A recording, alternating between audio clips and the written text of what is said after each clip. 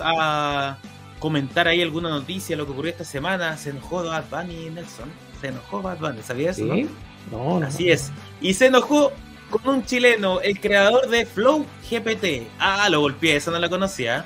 Lamentablemente, porque hoy día están baneando cuentas y están bajando el contenido de Flow GPT, quien hizo una canción utilizando inteligencia artificial. Es buena la canción, dicen que es la mejor de Bad Bunny. Con eso se ¿No lo digo será todo. la, la canción de la porque- primera chamba o no? Nada que ver. Esa fue hecha con IA, pero la otra no tiene nada que ver. Es Ah, una canción hecha por un chileno que es, entiendo yo, productor musical, pero él lo hizo con las voces de, de Daddy Yankee, los coros de Justin Bieber cantando en español y en inglés, como él lo hace, como lo acostumbra hacer en estas colaboraciones, y con el mismísimo Bad Bunny. Tiene, tiene, ¿sabe cuántas visualizaciones? Voy a ver. Voy a ver, pero no puedo poner segmentos de la canción porque está fuerte el baneo. Flow GPT se llama y la canción se llama Demo 5.